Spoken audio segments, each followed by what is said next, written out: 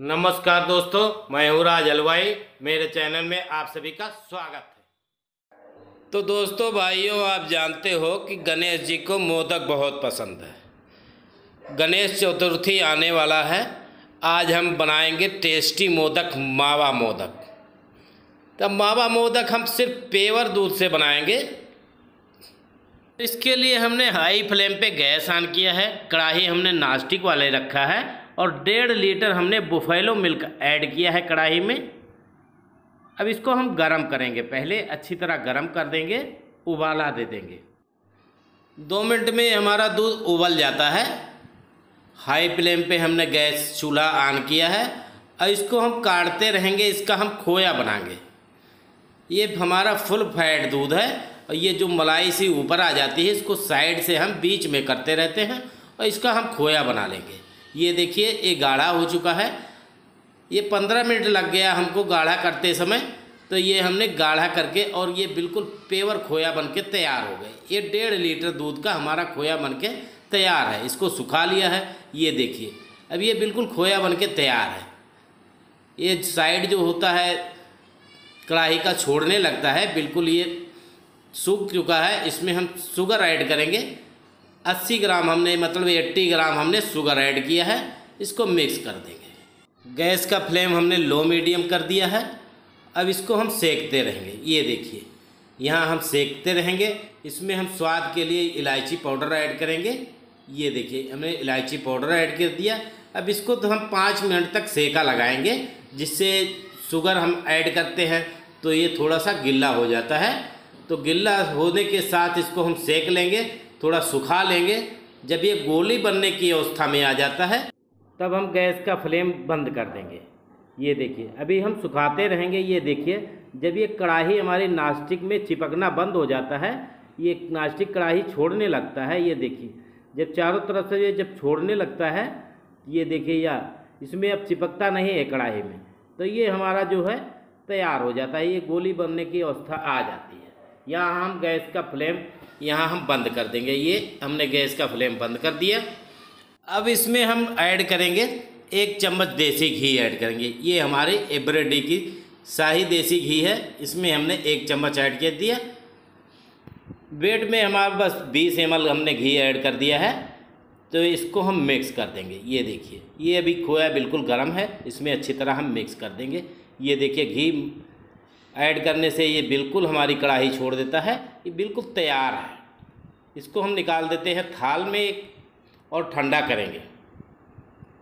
ये देखिए, ये अच्छी तरह सुखा लेना चाहिए, नहीं तो हमारा मोदक जो है मुलायम रहेगा। अगर ये खोया मुलायम रहेगा तो मोदक सही नहीं बनेगा।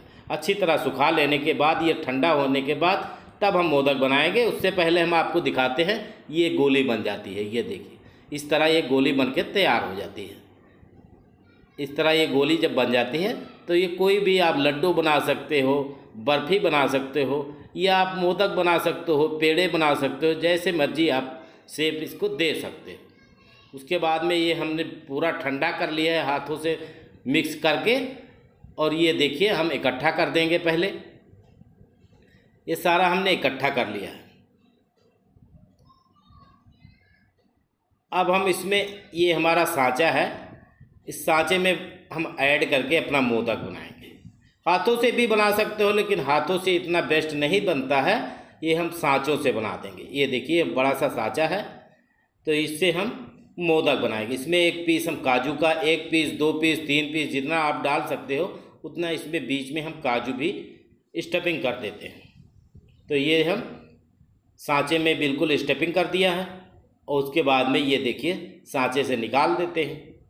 सांचे में थोड़ा सा तेल लगा लेना चाहिए, ये जी, आसानी से ये निकल जाए।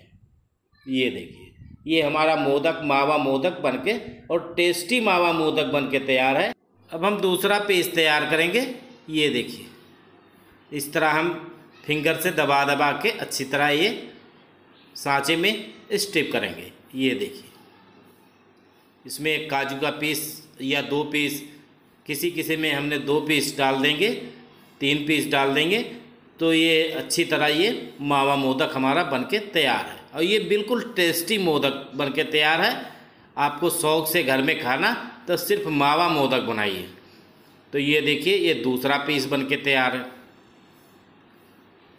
एक सांचा हमारे पास और है, ये छोटा सा है।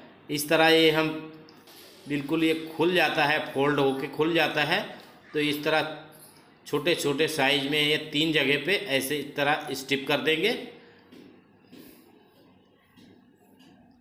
ये देखिए, इस तरह हम, ये छोटा मोल्ड है हमारा तो इस तरह हम ये मावा तीन जगह स्टिप करेंगे और तीनों को इकट्ठा कर देंगे और दबाव दे देंगे। ये देखिए, अब ये मोदक बन के तैयार है। पीछे से थोड़ा सा हम और स्टिप कर देंगे अपना मावा। तो ये देखिए, ये भी ये छोटा साइज़ का है, ये छोटा साइज़ का मोदक हमारा बन के तैयार ये देखिए, हाथों से भी आप बना सकते हो और सांचे से भी बना सकते हो। तो इस तरह ये हमारा मोदक बन के तैयार है। इस पर हम थोड़ा सा कलर ऊपर से लगा देंगे, रेड कलर। और हम पिस्ता भी लगा देंगे। हरा पिस्ता लगा दिया है, प्लेट में हम रख लेंगे सारा। ये सारा पीस हम प्लेट में रख लेंगे। अब आपको दिखाते हैं कि हमारा मोदक कितना बेस्ट बन चुका है। तो इस तरह के मोदक आप भी अपने घर में बना सकते हो और ये बहुत टेस्टी मोदक बनता है। इसमें हमने देसी घी, इलायची पाउडर और दूध भी हमने फुल फैट लिया है। इस तरह के आप शौक से खाने के लिए घर में मोदक बना सकते हो। उसके बाद में आप हमारे चैनल पे जाइए तो हमारे चैनल पे हर एक तरह की मिठाई मौजूद है। रसगुल्ले, गुलाब जामुन, बर्फ़ी, इस तरह की सारी हमारी वरेटियाँ मौजूद हैं। आप देख सकते हो। उसके बाद में एक मोदक हम ये कट के दिखाते हैं। ये देखिए, बीच में स्टफिंग हमारी काजू दिख रही है। ये देखिए। तो इस तरह के मोदक आप भी अपने घर में तैयार कर सकते हो। अगर आपको हमारी वीडियो अच्छी लगती है तो चैनल को सब्सक्राइब करके ब्लैक आन की घंटी दबाना बिल्कुल ना